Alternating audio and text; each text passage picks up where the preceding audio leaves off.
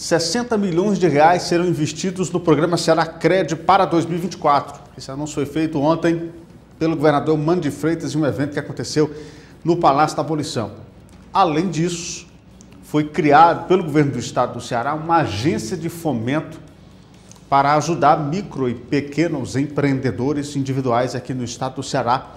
Essa solenidade é, foi realizada ontem no Palácio da Abolição e o Lucas Albuquerque tem mais detalhes para a gente agora na tela do canal 180 Roda, meu patrão, vai. Pensando em desenvolver e impulsionar a economia do Estado através da ajuda ao microempreendedor, o governador Elmano de Freitas sancionou nesta segunda-feira, dia 27, a lei que cria a Agência de Fomento do Ceará, acompanhado pela vice-governadora e secretária das Mulheres Jade Romero e o secretário do Trabalho Vladson Viana, o governador também anunciou a liberação de 60 milhões para o programa Ceará Cred.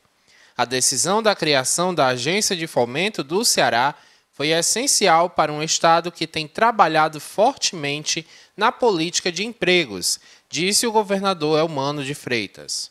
Olha, nós estamos criando uma agência de fomento exatamente porque a experiência do Seracred se mostrou muito correta e que exige um investimento maior do Estado do Ceará, porque nós já financiamos 150 milhões de reais, sendo praticamente 58 milhões em Fortaleza, o restante no interior do Estado. Financiamento na ordem, na média, de R$ 2.500 por mês.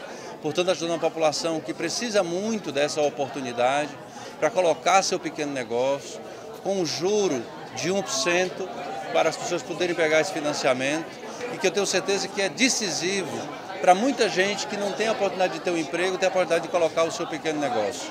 E nós temos uma fila de pessoas ainda aguardando novos financiamentos. E a agência de fomento nos permite acessar recursos que o programa Será Crédito não permitia, porque ela tem a possibilidade, junto ao Banco Central, de viabilizar esse acesso.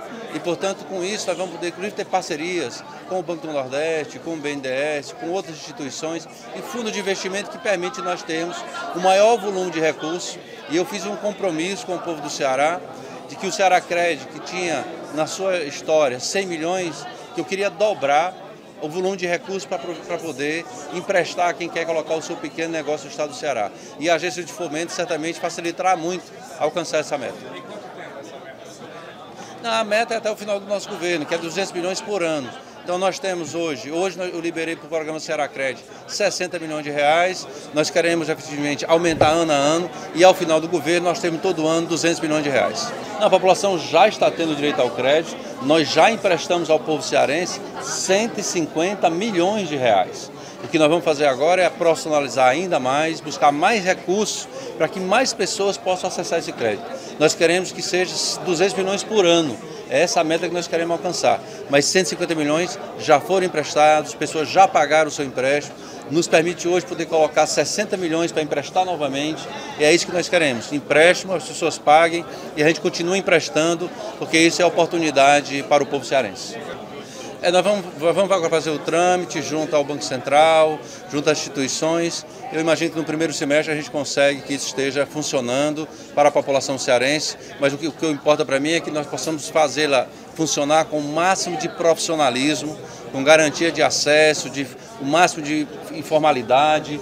Nós temos um processo que são formados de contratos mas eu preciso favorecer a pessoa que ela não tem garantia, ela não tem um patrimônio, ela não tem como oferecer um bem como garantia do empréstimo e nós precisamos ter a capacidade de dar oportunidade a essa pessoa, especialmente as mulheres, os jovens que querem ter essa oportunidade e vai ser nessa agência de fomento que ela vai conseguir, porque nas instituições financeiras tradicionais ela não consegue esse financiamento. O pequeno e microempreendedor, de acordo com o secretário do Trabalho Vladson Viana, representa 80% dos CNPJ cearenses e 60% da geração de empregos. Primeiro, destacar que a agência de fomento é um marco dessa nossa história, desde a primeira instituição financeira, desde a privatização do BEC, que é o Banco do Estado de Ceará.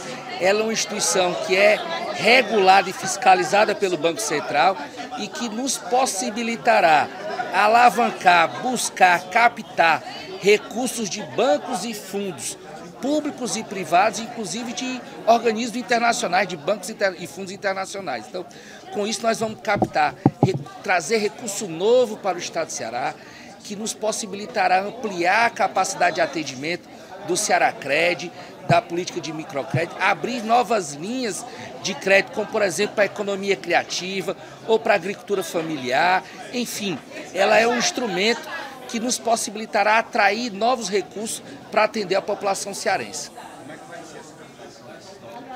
Bom, primeira etapa que nós vamos, após a sanção, nós vamos constituir um comitê técnico, que este comitê técnico vai preparar toda a documentação da agência e submeter ao Banco Central. Estudo de viabilidade, plano de captação, plano de alavancagem, e a partir disso, o Banco Central, ao autorizar, nós faremos os atos constituidores, assembleia, aprova aprovação de estatuto e indicação da direção da agência, que será também submetida a, ao Banco Central. Então, a partir disso, efetivada a agência de fomento, nós poderemos assim captar recursos e aí a gente já tem um diálogo aberto com o BNDES e outros, Banco do Nordeste, FNE e outros recursos que vão apoiar bastante a economia cearense.